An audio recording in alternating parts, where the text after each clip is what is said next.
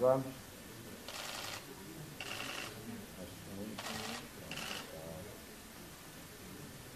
Tamam. Hayırlı olsun. Tebrik ediyorum. Evet. Kula. Başbakan yardımcısı. Hadi bakalım. Hı? Numan Akut Umut'un yerine. Ha. Ya sen kimin yerine? Öyle mi? İyi, hadi bakalım.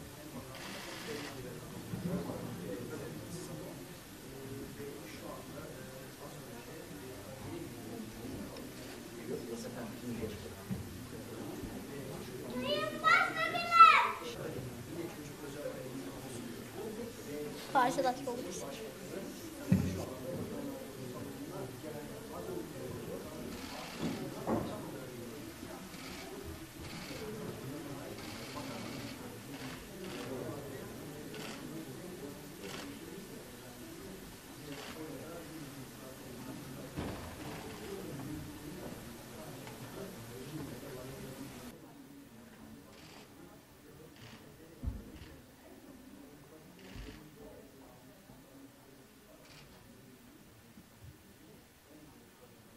Evet, hoş geldiniz. Hayırlı olsun. Evet. Sayın Başbakan sana da hayırlı olsun. Teşekkür ederim. Çok ciddi duruyor başkan. Evet. Sevgili çocuklar,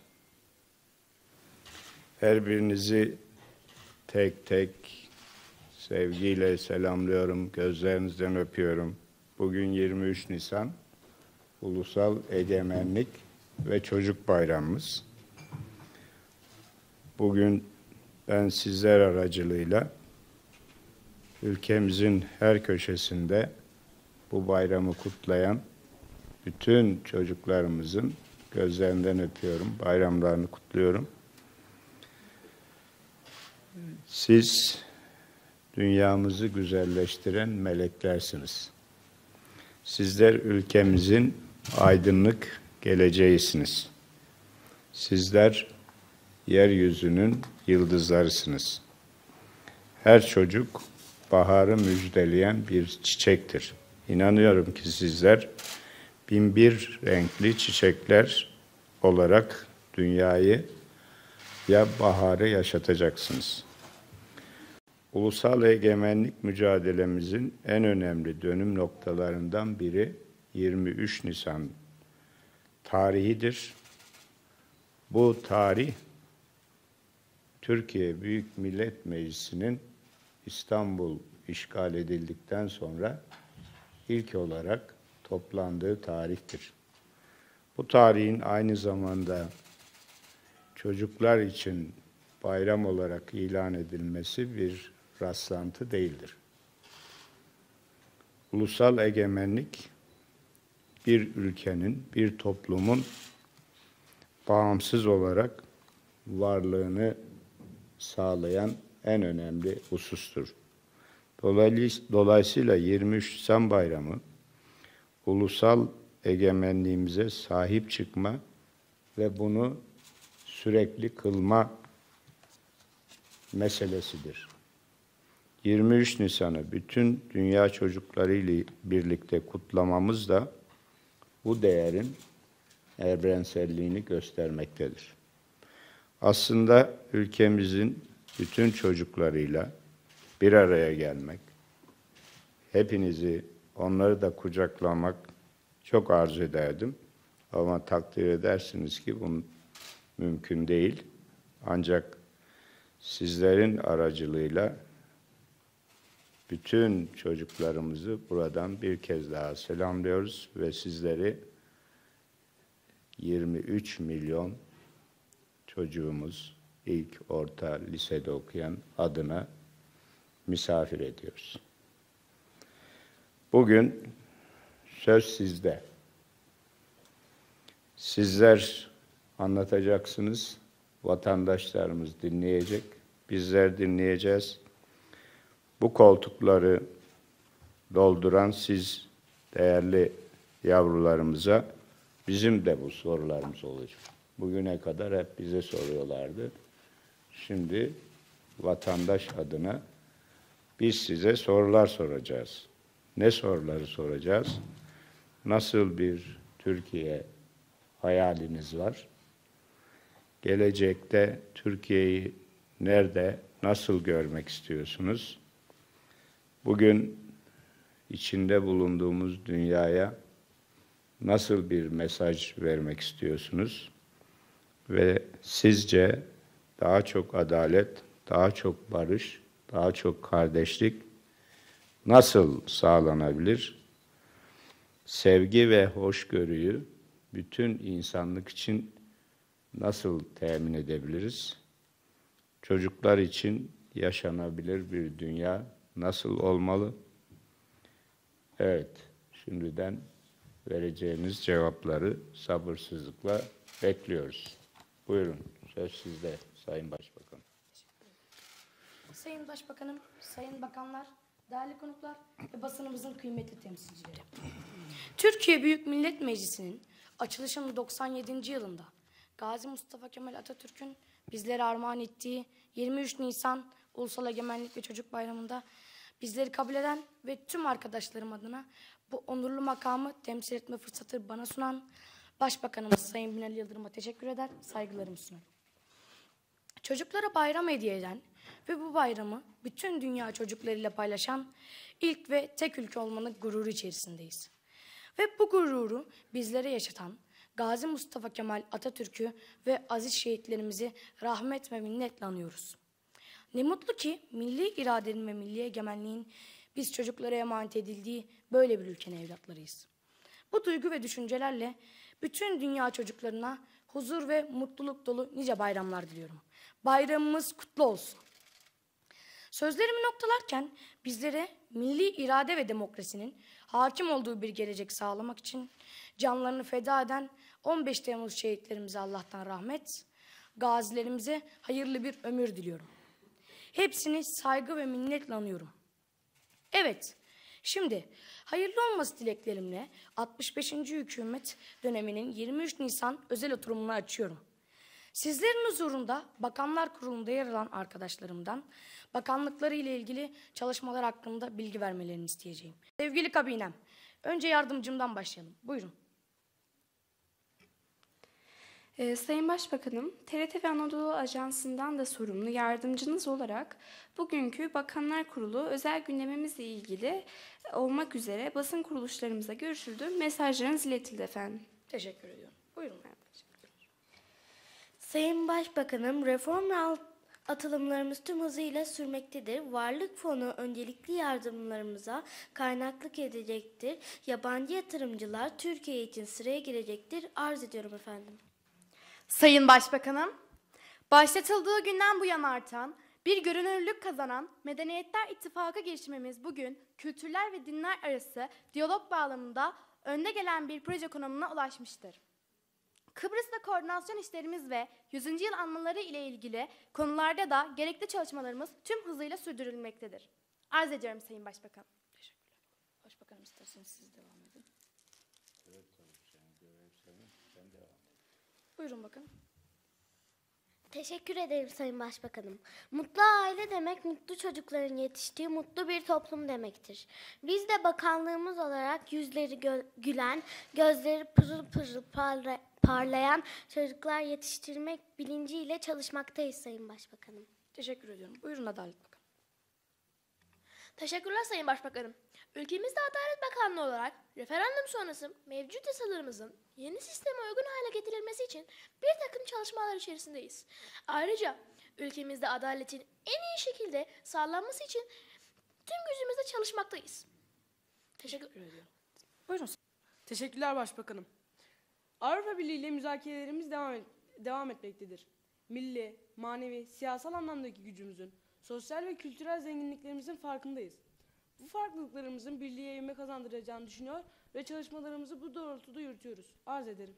Teşekkür ederim. Buyurun Sayın Bakanım.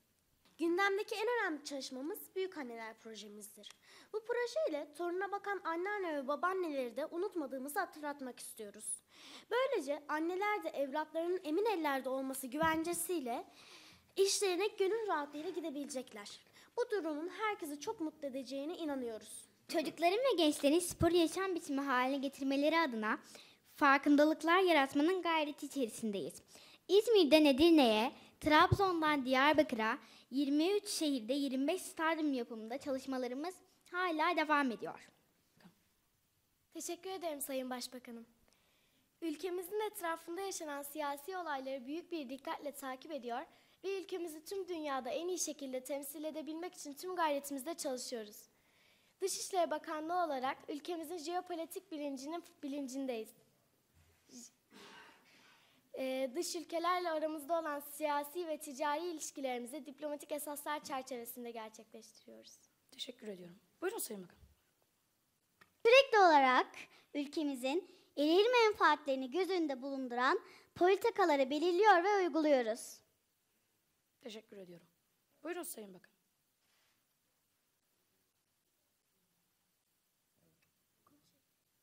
Enerji ve tabii kaynakları Sayın Başbakanım, ülkemizdeki doğal kaynaklardan en iyi şekilde yararlanmak için azami ölçüde çalışıyoruz.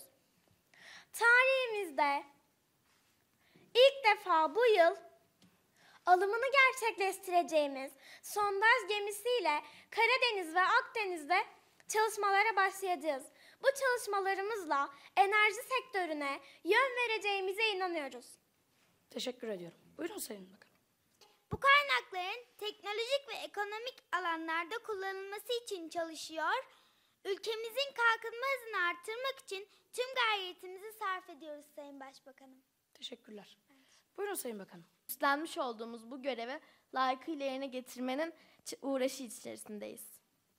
Teşekkür ediyorum. Buyurun Sayın Bakanım. Cennet gibi havasıyla ve güler yüzlü, misafirperver, tertemiz insanlarıyla belki de dünyanın en güzel ülkesinde yaşıyoruz. Çalışmalarımızı bu güzellikleri tüm dünyanın ziyaret etmesi yönünde sürdürmekteyiz Sayın Başbakanım. Buyurun Sayın Bakanım. Teşekkür ederim Sayın Başbakanım. Öncelikli amacımız okullara çocuklarımızın koşarak gelecekleri, öğretmenlerinin şefkatli kollarında hiçbir ayrım gözetilmeksizin eğitim alabilecekleri, bilim ve irfan yuvaları haline getirme çabaları içindeyiz. Bakanlığımız olarak biliyoruz ki başarı ancak çocukları mutlu olan, çocuklarına değer veren toplumlara nasip olmuştur. Bunun bilinciyle çocuklarımızın sağlıklı, özgüvenli, doğru iletişimler kurabilen, sorunları çözen mutlu çocuklar olmasını temenni ediyor ve bunun için te- çalışmamızı sürdürüyoruz. Beni sabırla dinlediğiniz için teşekkür ederim. Asıl ben ben teşekkür ederim. Buyurun Sağlık Bakanım. Teşekkür ederim Sayın Başbakanım. Sağlık Bakanlığı olarak sağlık hizmetlerimizin kalitesini artırmak amacıyla Sağlıklı Dönüşüm projemizi hayata geçirdik. Bu projemizin ikinci aşaması olan Sağlıklı Yaşam Merkezlerimize tüm halkımızı bekliyoruz. Teşekkür ederim Sayın Başbakanım. Tabiatın korunması için çalışmalarımızı hızla devam ettiriyoruz. Yeşil alanlarımızı genişletmek için fidan dikme kampanyalarıyla milyonlarca ağaç yetiştiriyor, barajlar inşa ediyoruz. Teşekkür ediyorum. Buyurun Sayın Bakanım. Teşekkür ederim. Ayrıca haberleşme ve komünikasyonun tüm dünya üstündeki öneminin de farkındayız. Bu sebeple internet ağımızı geliştirmek için çalışmalarımıza devam ettiğimizin de farkında olmanızı isterim Sayın Başbakan. Teşekkürler. Sağ olun. Evet, Sayın Başbakan, Sayın Kabine maşallah konulara çok vakıf. Yani bizim Bakanlar Kurulu bunu izlediyse bayağı bir etkilenmişlerdir. Gördüğüm kadarıyla bütün konularda maşallah bakanlar iyi hazırlanmış. Sunumlarını da çok güzel yaptılar. Tebrik ediyorum. Başarılar diliyorum. Teşekkürler. Buyurun. Şimdi soru soracaklar herhalde değil mi? Evet. Yani bakanlık, başbakanlık, bakanlık yapmak iyi de sorular da var. Evet. Vatandaş adına sorular da sorulacak. Şimdi onlara cevap vereceksiniz. Veya siz veya uygun gördüğünüz arkadaşlarınız, bakanlarınız cevap verecek. Bakanlar Kurulu böyle bir şey. Buyurun sorularınızı alalım. 7-8 yıl sonra gerçekten bakan olma, kabinede yer alma imkanı var. Ne düşünüyorsunuz? Mutluyuz. Bu konu için mutluluk duyuyoruz bu konu hakkında. Teşekkür ediyorum. Buyurun. Sayın Başbakan, kabineye baktığımızda e, kız öğrencilerin yani kadın bakanların sayısında bir artış görüyoruz. 13 e, kadın bakanımız var. Acaba hükümete bir tavsiyeniz var mı bu yönde? Yeni kurulacak kabine için. Var tabii ki de kadın kadın bakanlarımız da kabinede artması lazım. Yani bundan memnuniyet duyuyoruz. Ben memnuniyet duyuyorum. Eminim Sayın Başbakanımız Binali Yıldırım da memnuniyet duyar. Evet, de, doğru. e, gayet etkilendik. Yarıdan fazlası e, kızlarımızdan oluşuyor. Bu memnuniyet verici. E, Türkiye'nin geleceği açısından kadın erkek fırsat eşitliğinin sağlanması bakımından e, geleceğin Türkiye fotoğrafını burada görüyoruz. Hadi bakalım. Senin bakanın soruyor. Buyurun bakın. Şu an e, birkaç saatliğine de olsa başbakan makamında bulunuyorsunuz ve e, siz şu anda başbakan olarak 23 Nisan Ulusal Egemenlik ve Çocuk Bayramı hakkında ne düşünüyorsunuz? Bence 23 Nisan Ulusal Egemenlik ve Çocuk Bayramı sadece çocuklara değil herkes armağan edilmiş ama çocukların öne çıktığı bir bayramdır. Ve ulusal egemenliğin sağlandığı bir gündür ve onun için bayramı kutluyoruz. Buyurun Sayın Bakan. Milli Eğitim Bakanı olarak okulları tam gün yapma. İstiyorsun. Tekli eğitim sistemi diyecek. Evet. Bu konuda ne düşünüyorsunuz? Daha iyi oldu çünkü öğrencilerimiz sabahçı grup sabah çok erken gidiyor. Akşam öğlenci grup akşam çok geç geliyor. Tekli eğitim sistemiyle bu konu açılmış oluyor ve daha güzel oluyor bence. Evet, çok güzel. Ha, bunun için herhalde o, o- okul sayılarını arttırmak lazım. Değil mi? Evet.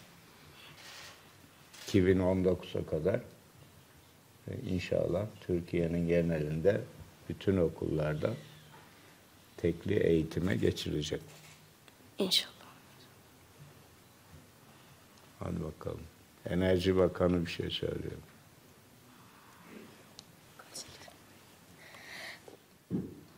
Peki e, neden tekli eğitim sistemine geçmeyi daha iyi buluyorsunuz Sayın Başbakanım?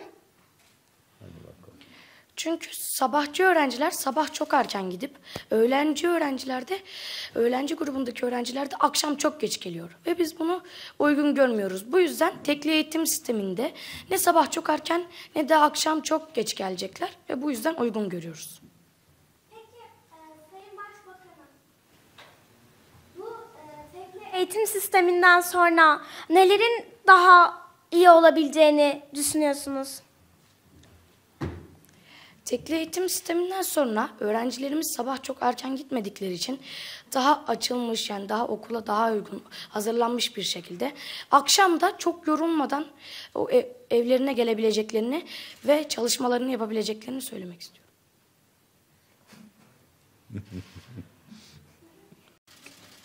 Sorusu olan. Peki Sayın Başbakanım, e, ortaokula giden öğrencilerimizin de 7 saat ders gören öğrencilerimiz için bu tekli eğitim sistemi daha mı iyi olacak?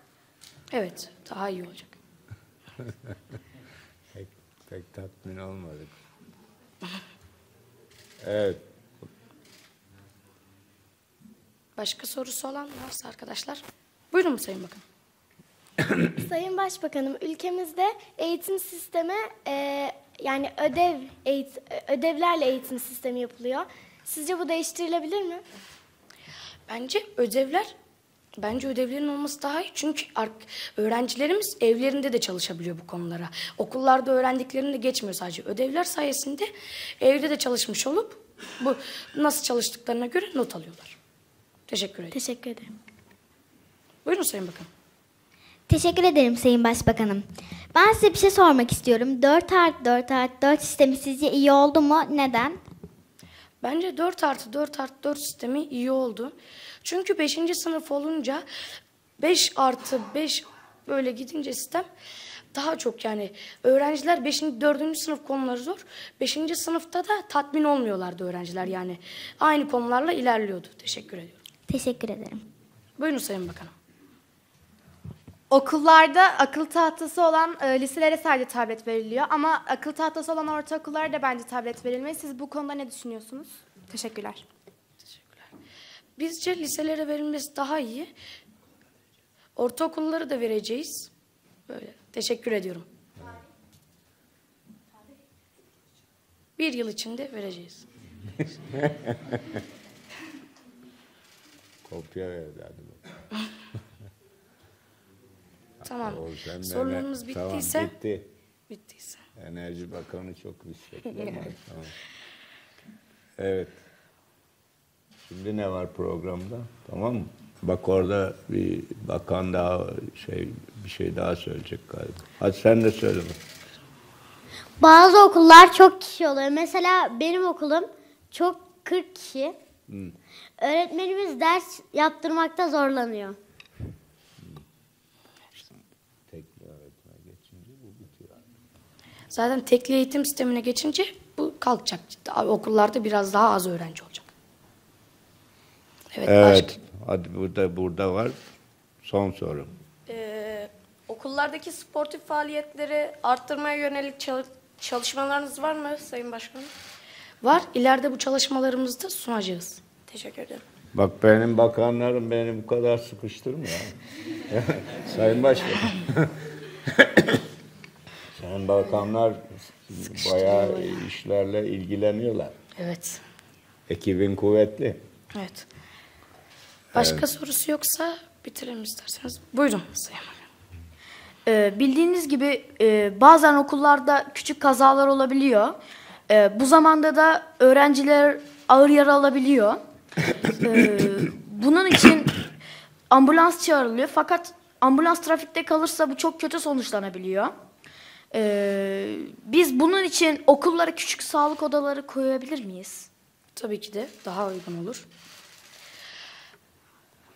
Daha uygun olur. Evet, daha uygun olur. Sorularınız bittiyse teşekkür ediyorum. Evet, teşekkür ediyoruz. Evet, teşekkür ediyoruz. Bakanlar Kurulu'nu kapatabiliriz artık. Teşekkür İzninizle. Tabii. Teşekkür ederim. Tebrik ediyorum. Gayet başarılı bir Teşekkür ediyorum ben de. yönetim sergiledin. Teşekkür ederim. Hadi bakalım ne bakıyorsun? Fevzi Bey Okulu. Maşallah. Hadi bakalım. Görüyorsunuz arkadaşlar geleceğimiz teminat altında. Bakanlarımız daha bu yaşta memleket meselelerine e, tam nüfuz etmişler. Konularını da çok iyi biliyorlar. Çok memnun oldum, çok mutlu oldum. Sizin gibi genç nesillere, genç beyinlere sahip olduğumuz için millet olarak ne kadar e, şükretsek azdır diye düşünüyorum. Evet, çok teşekkür ederim. Tekrar bayramınızı kutluyorum. Bütün arkadaşlara başarılar diliyorum. Allah yardımcınız olsun. Hepimizin, milletimizin. Allah razı olsun.